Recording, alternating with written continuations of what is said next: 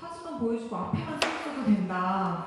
네, 그런 말씀을 하시지만 어쨌든 저는 보여줄 게 너무 많은 것도 고민이고 어디 조금 너무 제가 저의 부족함으로 인해 제주에 대해서 설명이 너무 부족할까도 걱정이고 그래서 오늘 여러 가지 고민을 하면서 이 자리에 섰습니다.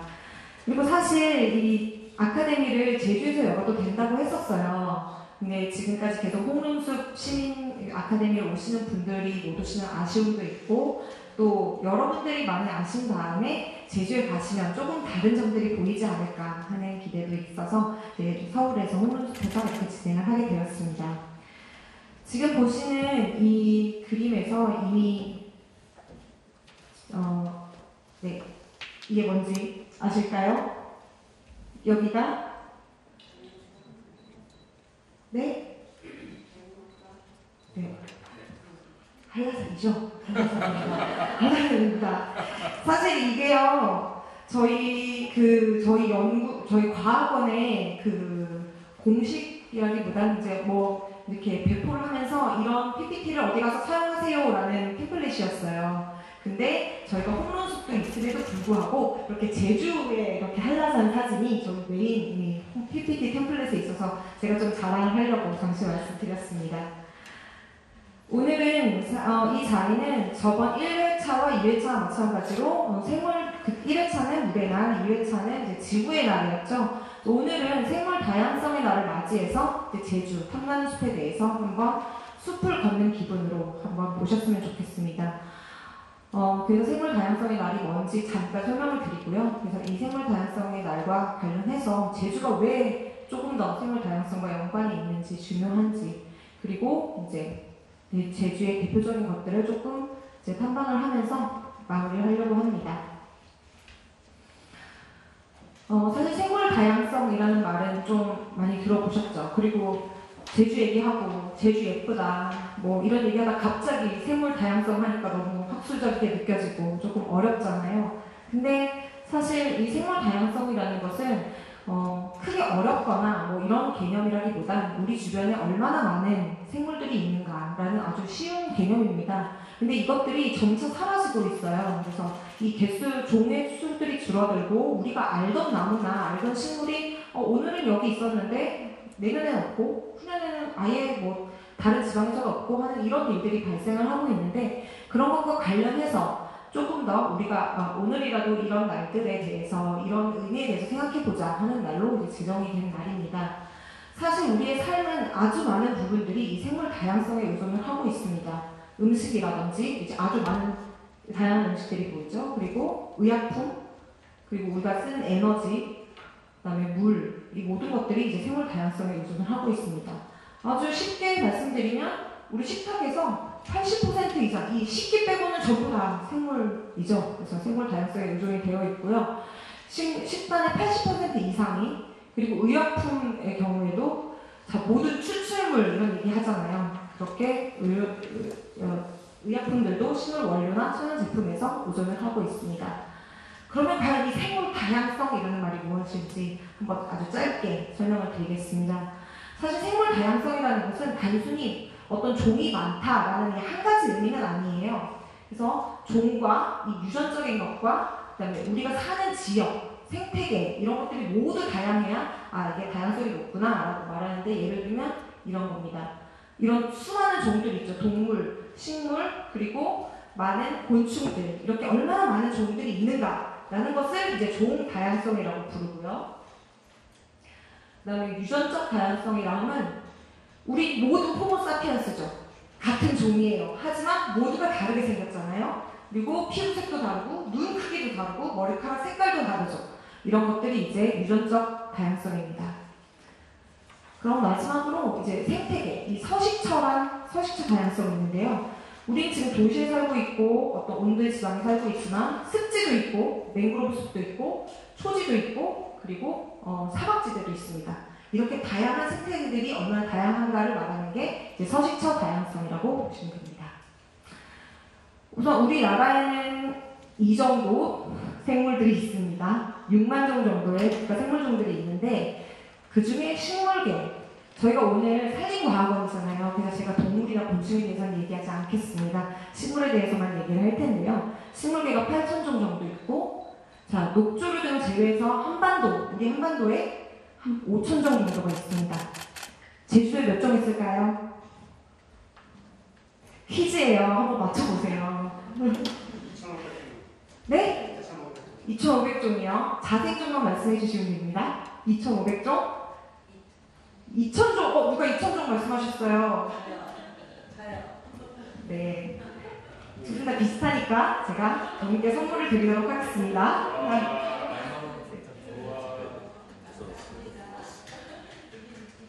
아, 네, 읽으셨군요. 네, 제주도, 자, 한반도 전체에 5천 종이 있는데, 제주도 이 작은 곳에 2천 종이 존재하고 있습니다. 엄청 놀라운 사실이죠. 그럼 어떻게 이 제주도 작은 섬에 2천 종이나 살게 되었는지 한번 보시겠습니다. 네.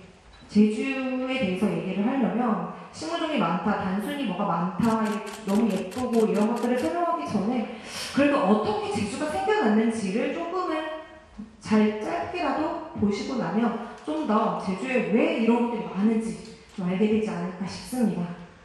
네, 여기는 이제 한라산 정상에서 찍은 새해 사진입니다. 새해와 함께 이제 한라산이 어떻게 형성이 되었는지, 제주도가 어떻게 형성이 되었는지 한번 보고자 합니다.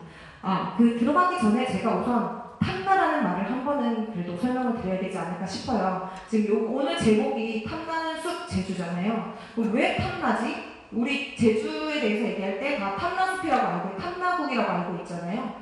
그럼 이 탐나라는 뜻은 뭔가 하면은 이 탐나랑 제주랑 큰 차이가 없게 느껴질 때가 있어요. 탐나라는 뜻은 섬나라라는 뜻이에요. 근데 제주라는 것은 바다 건너 큰 고을이라는 뜻이에요. 근데 두 단어를 비교해 보면 큰 차이점을 볼 수 있는데 탐나라고 할 때는 나라잖아요. 나라. 나라라는 것은 자기 주권을 가지고 있고 뭐 무역도 따로 할 수 있고 훨씬 더 어, 지위 독립국으로서의 지위가 있어요. 근데 이제 고려 때부터 이제 나라가 아닌 고을의 의미인 제주로 바뀌게 됩니다. 그래서 예전에는 이제 천년의 역사를 가진 이제 탐나 숲이라고 이제 저희는 부르고 있습니다. 네, 제주는 이제 저 모두가 아시다시피 화산섬이고요. 어, 제주의 탄생에 대해서 유튜브나 네이버 어떤 치시면 아주 많은 영상들이 나와요.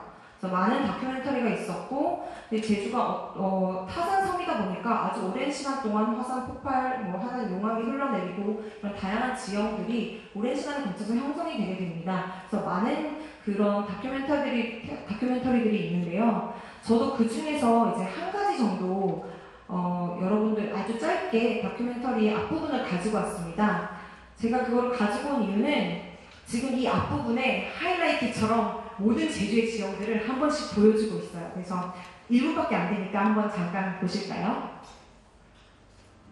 파란 하늘과 바다, 태고의 신비를 섬 제주는 물과 불이 균열한 방으로 완성된 화산섬.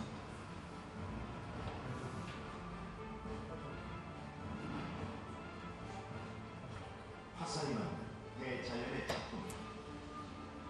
이 어디에서도 볼 수 없는 다채롭고 독특한 지역. 겹겹이 쌓인 시간 속에서 태초의 모습을 그대로 간직하고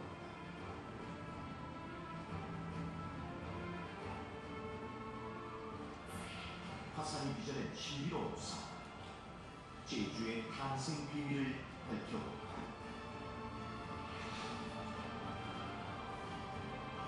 손 네, 여기까지. 저 조금 더 보기를 원하시면 나중에 유튜브에서 네, 제주의 탄생 치시면 한 열댓 개의 동영상이 나오게 됩니다. 어, 전에 보신 것과 같이 제주는 크지 않은 우리나라에 비해서 혹은 전 세계의 땅에 비해서 아주 큰 곳은 아니에요. 우리나라에서는 가장 큰 섬이지만 이렇게 작은 곳에 아주 다양한 그 서식처들을 볼 수가 있습니다. 제주도가 가끔 아, 화산 폭발로 인해 생겼다라고 하면은 이렇게 화산 폭발이 한번 뻥 하면서 이렇게 제주도가 생겼다고 생각하실 수도 있는데 그런 건 아니고요. 아주 오랜 시간 천천히 차곡차곡 화산 폭발이 일어나고 용암이 흐르고 다시 폭발이 일어나고 화산재들이 쌓이면서 오랜 시간에 걸쳐서 제주라는 곳이 형성이 되었습니다. 이렇게 화산 활동에 의해서 형성된 층 위에 계속 조금씩의 다른 폭발들이 일어나고 용암이 흐르면서 다시 또 다양한 지형들을 형성을 하게 됩니다. 그래서 제주에서는 아직도 지질학자들이 많은 연구들을 진행을 하고 있고요. 그 진- 연구가 진행되면서 뭐 연도들이 조금씩 바뀌기도 하고 이런 지형들의 이름이 이렇게 파후이호이 아라는 좀 낯설지만 이런 용암 지형들에 대한 설명들이 나오기도 하고 이제 그렇습니다. 그래서 아주 오래전부터 형성이 되기 시작했고요. 이제 어찌 보면 한라산은 비교적 이제 좀 어린 어, 이런 지형인데요. 약 2만 년 전에 이제 생성이 되었다고 하고요. 그 전부터 생성이 되고 되어 오면서 지금의 형태가 된 것은 약 2만 년 전에 이제 큰 폭발이 있으면서 이런 형태가 형성이 되고 그리고 그 다음에 약 5천 년 전쯤에 이제 성산 인출봉이 생겼다고요. 그다음 마지막으로 약 3,800년 전쯤에 폭발로 인해 소각산이 생겨나게 됩니다. 이렇게 해서 지금의 이제 제주도가 형성이 되었습니다. 이렇게 제주도가 특이하게도 용암이 흐르기도 하고 화산이 폭발하기도 하고 오랜 시간 걸치면서 특이하게 여러 가지 서식처들이 다양한 숲이 생기게 됩니다. 아마 육지에서는 매우 보기 힘든 유형인데요. 혹시 곶자왈이라는 말 들어보셨어요? 곶자왈 가보셨어요? 곶자왈이라는 숲은 육지에 있는 숲이랑 비교해보신 적 있으세요? 느낌이 너무 다르죠? 들어갔을 때 느낌이나 안에 있는 수종들이나 나무들도 굉장히 다르다는 걸 느끼실 수 있을 거예요. 곶자왈이라는 말 자체는 이제 나무나 덩굴이 이렇게 어수선하게 어우러진 곳, 이런, 숲이라는 단어입니다. 제주 말이고요. 그래서 이런 곶자왈들이 곳곳에 형성이 되어 있습니다. 예를 들면 이제 서쪽에는 이제 곶- 한 한경 안덕 곶자왈댐이 있고요. 저지 곶자왈댐이 있고 그다음에 저기 동쪽으로 가면 이제 서울 곶자왈이 있고 여기는 또 독특하게도 습지가 형성이 되고 있습니다. 어, 여러분 다 잘 아시겠지만 어, 제주도가 사실 물이 보이는 곳이 별로 없어요. 제주도 돌을 생각해 보셨어요? 다 이렇게 구멍이 뻥뻥 뚫린 돌들이잖아요. 그래서 물이 보이지 않고 다 쭉 빠져요. 그냥 쭉 빠지는데 여기가 특이하게도 이렇게 물이 보이는 지형이 생깁니다. 이렇게 물이 보이게 되면서 또 다른 물이 보이지 않는 곳과는 다른 식물들이 나타나게 됩니다. 어, 곶자왈과 함께 또 제주 가면 많이 볼 수 있는 게 오름이죠. 여기 사실 퀴즈를 내라고 했는데 제주 오름은 몇 개일까요? 이렇게 근데 여기 너무 써 있어가지고 제가 지금 이 퀴즈를 내기는 조금 네 그렇죠. 그래서 오름 몇 개 가보셨어요? 오름 가보신 적 가보신 적 있, 있으신 분? 자, 네 몇 개 가보셨어요? 제일 많으신 분에게 선물 드리겠습니다. 지금 아무도 말씀 안 하시면 먼저 말하는 사람이 임자죠. 아 이렇게 이상해요. 우와. 50개 우와. 네. 네, 50개요. 네, 그래도 10개 이상. 감사합니다. 또? 없으세요? 제 적게 받았어요. 아, 네, 적게 가보셨다고 하시니까 또. 네. 더 많이 가시라는 의미로. 네. 이렇게 오름들이 약 360여 개가 있습니다. 여, 30, 365개 정도의 오름과 이 한라산부터 이제 해안가까지 쭉 따라가면서 이제 여러 가지 다양한 오름들을 볼 수 있고요.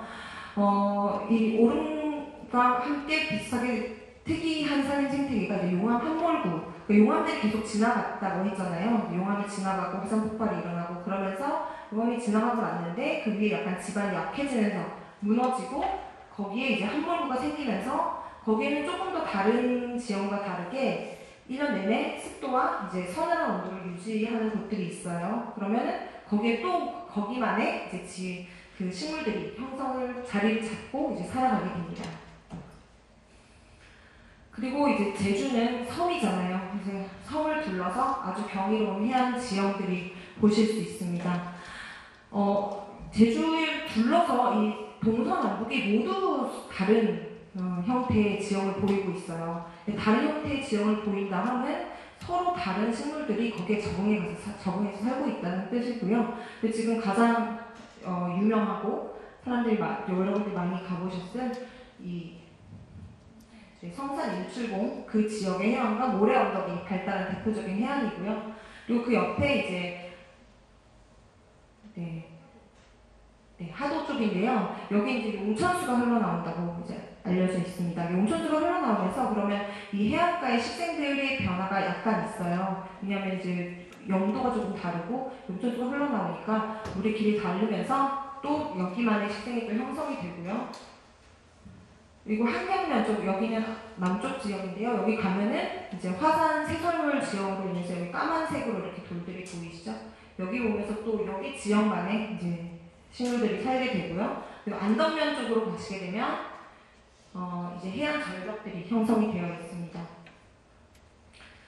그리고 이제 삼방산 쪽으로 가시게 되면 여기는 이제 아까 앞에도 그 사진이 한 번 나왔었는데요. 이제 용머리 해안이라고 제주도에서 가장 오래된 화산체도 있고 그다음에 가장 최근에 생긴 송악산도 요 근처에 있고요.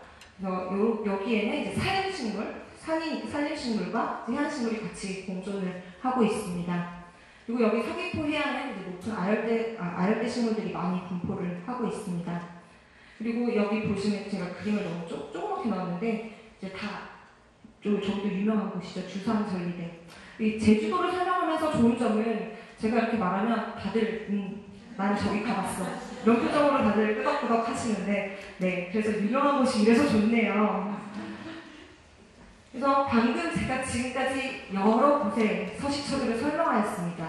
이것은 결국 우리의 이 제주도에서 서식처가 얼마나 다양한지를 보여드리는 거죠. 서식처가 이렇게 딱 한 가지만 있는 것보다 그냥 생각해봐도 아 여기 사는 생물과 여기 사는 생물 너무나 다르겠다 하는 생각이 드시죠. 이렇게 서식처가 다양하면 자연적으로 좋은 다양성도 이제 높아질 수밖에 없는 거죠. 자 그리고 이제 제주의 상징 한라산으로 가겠습니다. 이렇게 한라산을 한라 제주도 같은 경우에는 이제 수직으로 식물 식생대 분포가 매우 다른 곳입니다. 또 지금 딱 한라산을 가시면 지금 제주를 가시면 녹색이 한 한라산의 3분의 1 정도까지 올라와 있습니다. 그래서 지금 너무 예쁘게 올라가고 있는 게 보여요. 그래서 식물 개, 개혁이 이렇게 진행되고 있는 것들이 지금 눈에 바로 보이는데요. 그 그러면서 이렇게 식생대가 다른 게 뚜렷하게 나타나게 됩니다. 한 600m까지는 이제 상록 화렵수 늘 잎이 있는 그런 애들이 있고요. 그 다음에 그 위에는 이제 낙엽 화렵수 여러분 제 단풍이라고 단풍놀이 많이 가시잖아요. 그 단풍들이 있고 그 위에는 이제 아고산대의 침엽수림들이 있습니다. 우선 제일 위에서부터 한번 내려와 볼까요? 여기 안매라고 하는데 여기 조금 보이실지 모르겠어요.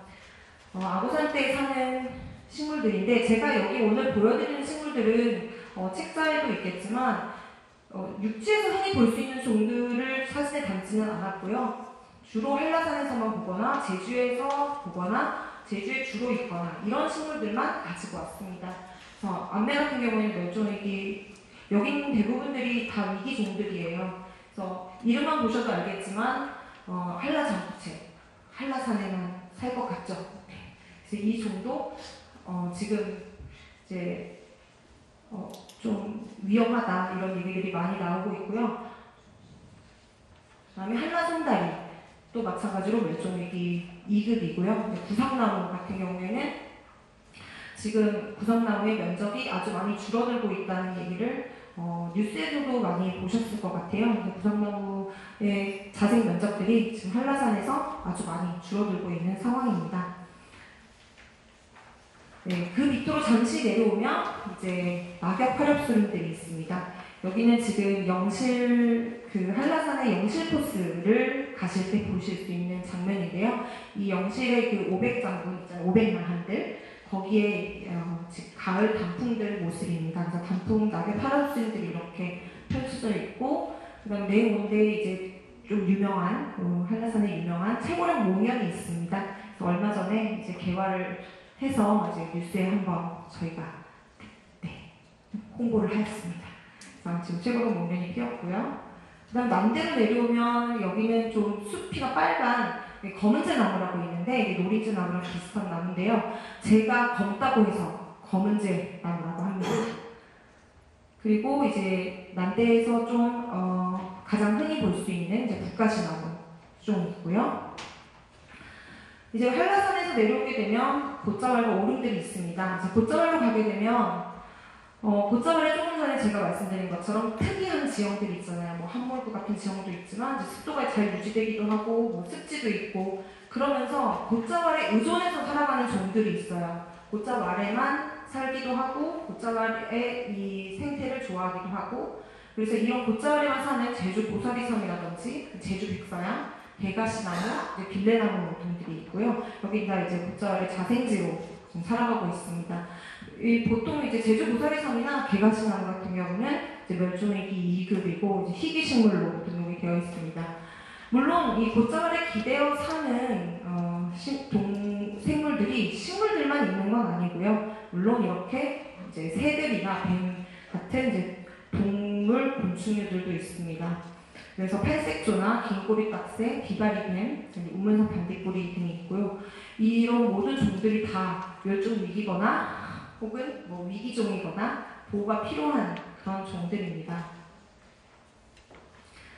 아, 제가, 제가 제주 고사리섬 사진만 따로 조금 들고 왔는데요. 제주 고사리섬 같은 경우에는 1종 1속이에요. 이 말은 무슨 말이냐면 제주에만 산다는 거죠. 그래서 저, 저는 처음에 이 종을 봤을 때 1종 1속이라는 게 존재한다는 게 너무 신기해서 어, 열심히 찾아보려고 했는데 어, 제 눈에 잘 띄지는 않더라고요. 제주 고사리삼이 이제 곶자왈에 가시면 보실 수 있습니다. 그리고 이제 해안 식생으로 넘어가겠습니다. 자, 해안에는 이제 해안 가시면 주로 많이 보이는 식물들이 여기 이렇게 보라색 꽃이 피는 보라색 꽃이 피는 이제 나무들이 있습니다. 이렇게 순비기 나무인데요. 이 순비기 나무는 저 뒤쪽에 이제 정유하는 것, essential oil 만들어진 어, 것도 있으니까 나중에 나가시기 전에 한번 향을 맡아보시면 좋을 것 같고요. 그래서 문주란, 그 토끼섬에 사는 문주란이나 갯강활 어, 제주 해안 식생들이 이렇게 존재를 하고 있습니다. 그리고 또 특이한 게 있는데요. 제주에는 어, 자생 맹그로브가 있습니다. 네, 저희가 준 맹그로브라고 부르고 있는데요. 그래서 황근과 갯대추 나무가 지금 자라고 있어요. 이제 맹그로브 하면 너무 낯설잖아요. 사실 우리나라에 전혀 있을 것 같지 않은 종이고 실제로 true mangrove, 그러니까 정말 그 바닷물 위로 뿌리가 나오는 그런 진짜 맹그로브들은 아니에요. 그런 맹그로브들은 아직 우리나라에 살진 않는데 어, 맹그로브 숲이 나타날 때 같이 나타나는 그 염도를 견딜 수 있는 식물들이 있습니다. 이제 그런 것들을 보통 semi mangrove 혹은 mangrove associate라는 이런 준 맹그로브라고 불러요. 맹그로브와 똑같은 생리 작용을 하진 않지만 어, 염도를 견딜 수 있고 맹그로브 숲과 같이 나타나서 나중에 지금 현재는 제주도에만 살고 있습니다. 그래서 나중에 조금 더 따뜻해지면 이제 육지에 있는 해안가에도 충분히 올라올 수 있는 가능성을 가지고 있어서 이거는 저희가 연구를 진행을 하고 있습니다. 제가 맹그로브 연- 얘기만 조금 길게 하는 건 제가 맡고 있어서 그렇습니다.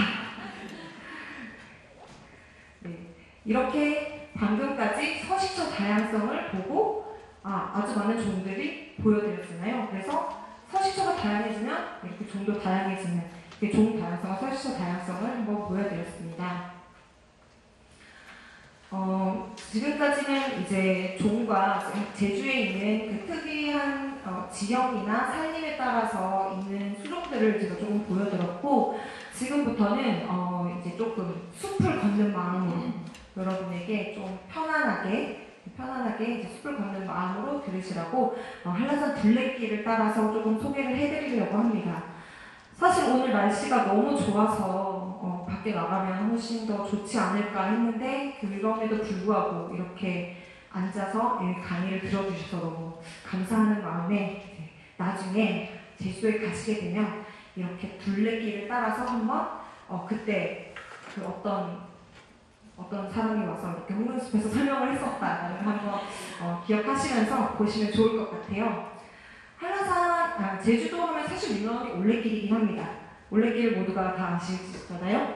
올레길은 보통 이제 해안가 따라서 구- 구성이 되어 있고, 물론 올레길에도 이제 숲들은 볼 수 있지만, 저희는 살림을 하는 어, 사람들이고, 저희 이제 산에 대해서 들으러 왔으니까, 이렇게 어, 한라산 주변을 한번 어, 걸어보면 어떨까 하는 생각이 듭니다.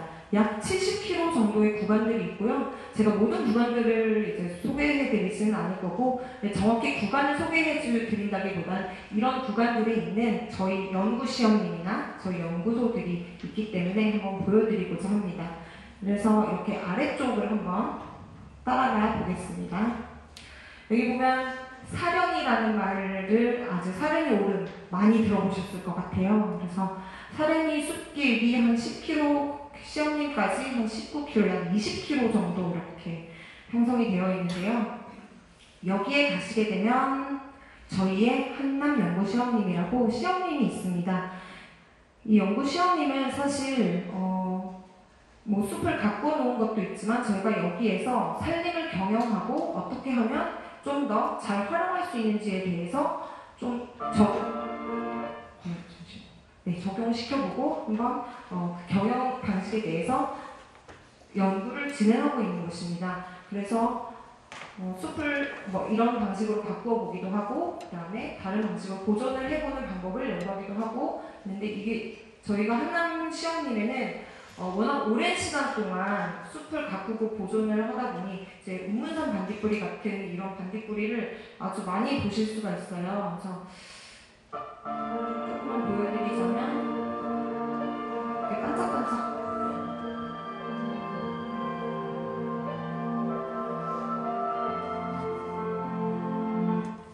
네, 조금만. 사실 실제로 보면 저보다 훨씬 반짝입니다. 저는 어, 이런 말씀을 드리면 조금 부끄럽지만 반딧불이를 제주도에 가서 처음 봤는데요. 어, 너무 놀란 게 너무 많아서 놀랐고 우선 저는 그런 거는 동화 속에 나오는 줄 알았는데 어, 영화나 동화에만 나오는 줄 알았는데 실제로 지금은 이게 영상에 담겨서 이 정도고요. 정말로 반짝반짝하는 그 반딧불이가 정말 눈앞에 펼쳐지는 게 정말 놀라웠습니다. 그래서 그 한남 시험님에서 이, 이 가시면 이제 운이 좋으시면 보실 수도 있습니다.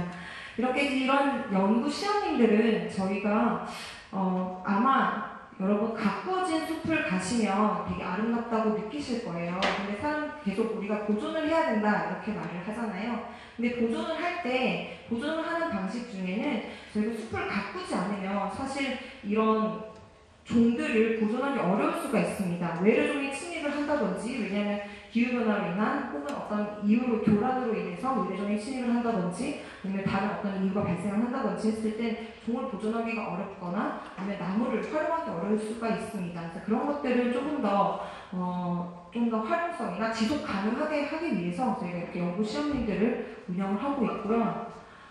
그래서 한남 연구 시험님 제가 조금 전에 보여드렸는데 아마 오늘 책자로도 어, 보실 수 있을 거예요. 한남 시험님의 봄, 여름, 가을, 겨울을 겨울에 대해서 그 책자에 조금 나와 있고요. 그래서 지금 보시면 지금 모습인데요. 한남 시험님의 이제 낙엽 화렵수림들과 이렇게 봄이 되면 이제 떼죽나무들이 만개를 하게 됩니다. 그리고 한남 시험님 어, 하천가에 아주 개수가 마치 개체수가 많지 않은데 성별 수국이 자라고 있습니다. 네.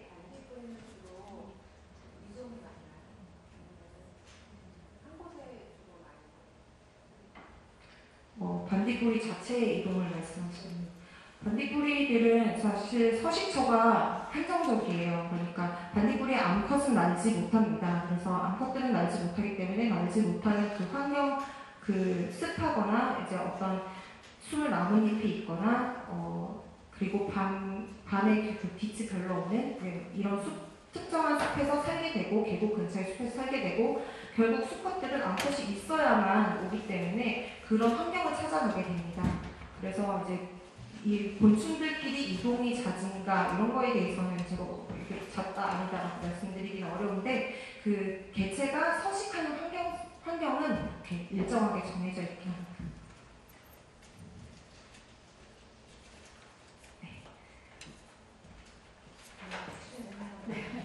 네, 그럼 이제 봄에 이제 아, 연구 시험님이고요. 어, 네, 이거는 이제 쪽동백인데요. 이제 이름 때문에 동백나무랑 연관이 있나라고 생각을 하시면 사실 동백나무랑 연관이 있진 않고 동백나무보다는 이제 떼죽나무랑 가까운 나무입니다. 그래서 떼죽나무 친척경이라고 부르죠. 그래서 어, 떼죽나무보다 꽃이 떼죽나무는 이렇게 종처럼 밑으로 이렇게 달리는데요. 얘는 가지 끝에 이렇게 꽃이 달리는 어, 쪽동백 나무라고 합니다. 주로 한라산이나 저희 한남 시험님에 많이 살고 있고요. 어, 그리고 저희 시험님에 오시면 그 노루 같은 동물들도 좀 꽤 많이 볼 수 있습니다. 그래서 노루나 어, 뭐 붉은 사슴도 간혹 보이기도 하고요. 그래서 이런 동물들도 이제 볼 수- 보실 수 있습니다. 여름이 되면 아무래도 제주가 습도가 조금 높다 보니까 이 높은 습도로 인해서 이제 입기류가 조금 발달하는 경향이 있어요. 그래서 이렇게 입기류들이 발달해서 성남 숲이가 조금 더 이제 푸르러 보이게 하고 푸르게 푸르러 보이게 하고요. 어 이제 한라산 특산종은 이제 솔비나무 같은 이제 밀원 수종으로 많이 고려가 되고 있는 벌들이 이, 이 나무를 좋아한대요. 그래서 밀원 수종으로 많이 고려가 되고 있고 그리고 이제 나무미자 꽃이 예쁘게 피는 나무미자가 이제 자생을 하고 있습니다. 그리고 아까는 이제 제가 잠시 영상으로 보여드렸던 이 여름에 볼 수 있는 이제 반딧불 한남 시원의 반딧불 있고 정말 실제로 정말 이렇게 보여요. 실제로 정말 이렇게 보이고 어, 어찌 보면 저보다 좀 많아 보이는데 그래서 저렇게 보이는 것들을 볼 수 있습니다.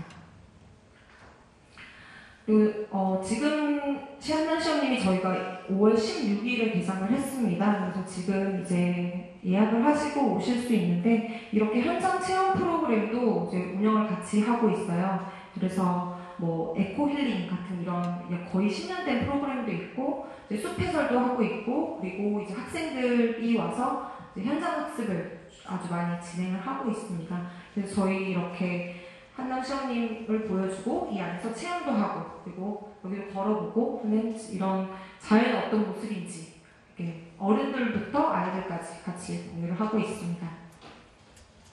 네, 이건 가을의 모습이고요.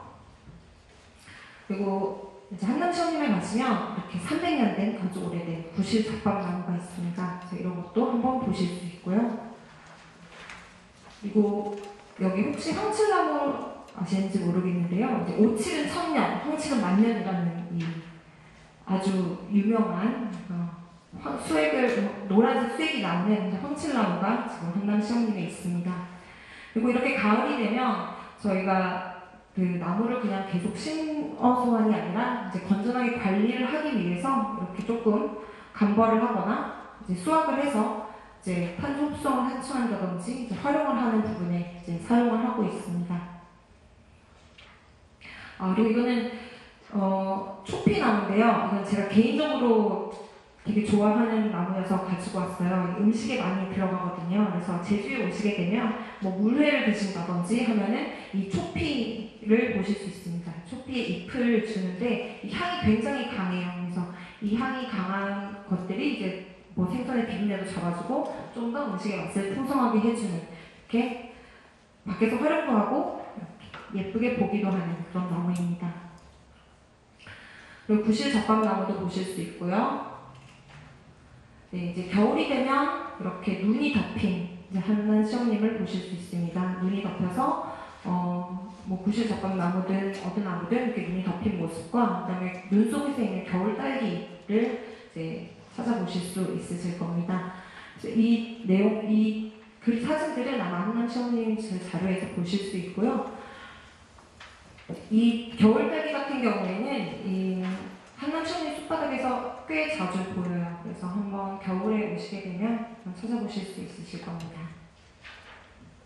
이제 삼나무 숲입니다. 어떻게 좀 걷는 기분이 드시나요? 네, 그 다음 이제 한라산 둘레길 수학길로 내려오면 여기에는 사실 이제 여기는 조금 더 한라산에 가까워서 제가 한라산에 피는 꽃들을 가져왔어요. 한라산에 피는 꽃들은 많은데 지금 5월, 지금은 지는 시기긴 한데요. 이제 청꽃나무가 얼마 전까지 피었었고요. 청꽃나무는 어, 가장 키 큰 진달래라고 알려져 있어요. 진달래는 아니고 청꽃나무라고 따로 있습니다.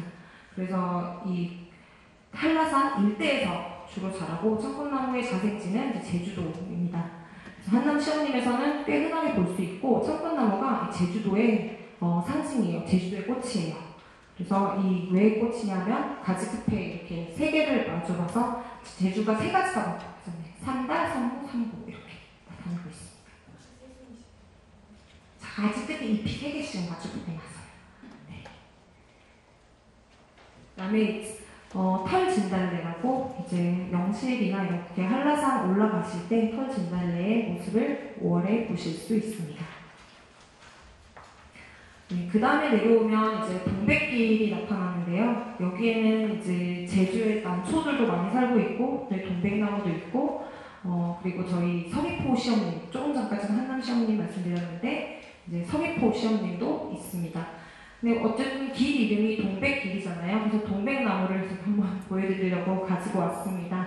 이제 다 아시겠지만 동백나무는 어, 상록 대표적인 상록 화렵수인데 이제 겨울에 꽃이 피죠. 그래서 이렇게 눈 속에서 보통 꽃을 보게 됩니다.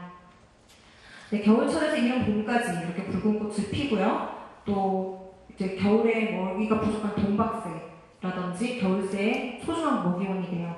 혹시 보셨는지 모르겠는데 저희 그 동박새와 어, 이렇게 동백나무가 같이 찍은 사진들을 저희의 SNS에 몇 번 올린 적이 있어요. 그래서 나중에 시간이 되시면 한번 찾아보시면 좋을 것 같습니다. 그리고 이제 연구 시험님 내에는 이렇게 길이 형성이 되어 있고요. 소비포 연구 시험님, 이제 한남 시험님 그 옆쪽으로 그 한라산의 남쪽으로 좀 그 배치가 되어 있는 서귀포 연구 시험님에는 이렇게 편백나무 숲이 있습니다. 그래서 편백나무 숲을 어, 이 둘레길을 가시다 보면 이제 지나가실 수 있고요. 이렇게 안개가 꼈을 때나 혹은 봄철에 이런 모습들을 보실 수가 있습니다. 어, 지금까지는 제가 제주에 어떤 게 많고 이렇게 둘레길을 따라오면 이런 것들도 있고 이제 종도 많고 이런 것들을 보여드렸잖아요. 근데 사실 이 모든 것들이 그 자리에 계속 있기 위해서는 우리가 조금은 노력을 해야 합니다. 사실 우리 다 기후 위기 시- 시대에 살고 있다 이런 얘기 하잖아요. 기후 변화 얘기하고 그래서 탄소 중립돼야 된다고 얘기하고 그런 것들이 다 결국에는 우리가 지금까지 어 이거는 멸종 위기 종인데 우리 옆에 있었어요. 근데 어느 순간 우리가 보지 못하게 될 수 있는 종들입니다.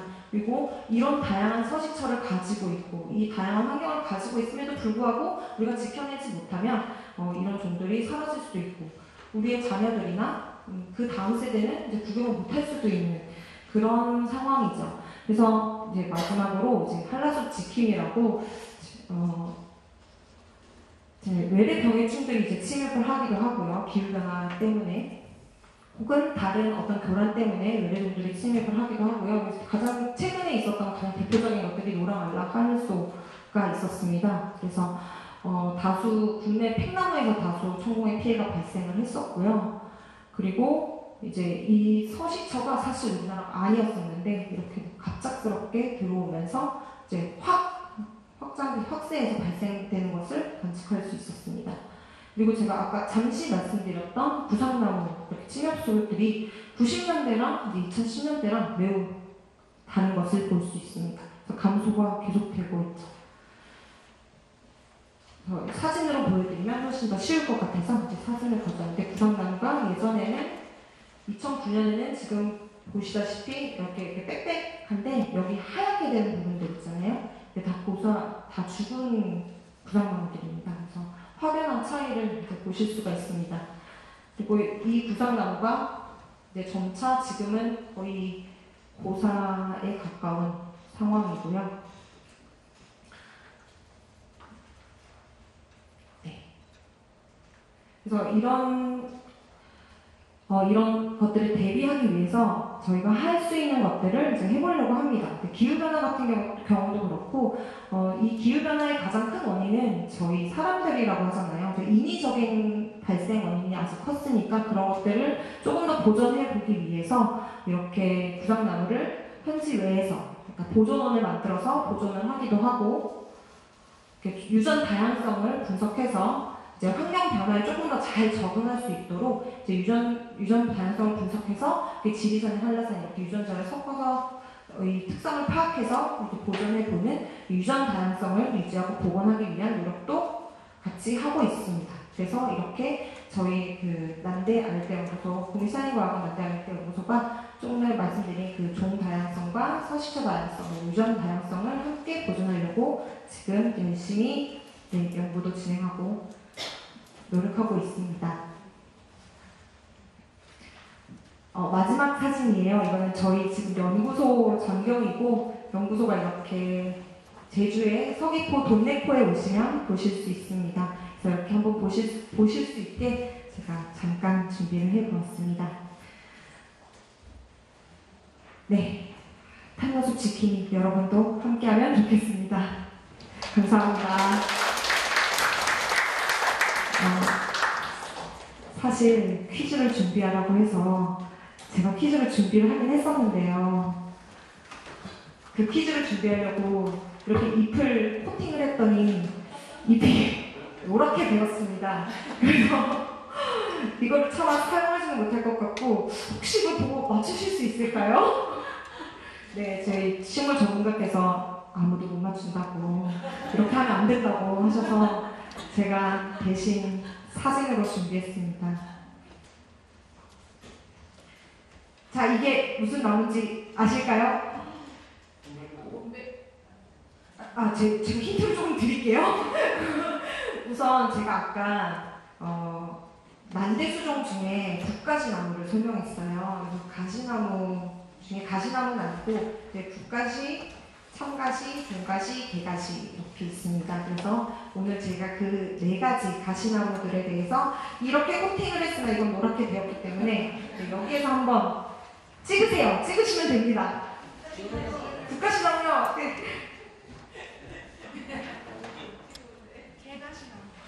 어, 국가, 국가시나무입니다.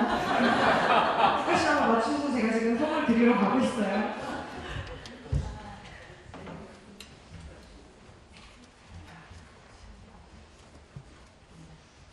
네, 이거는 뭘까요?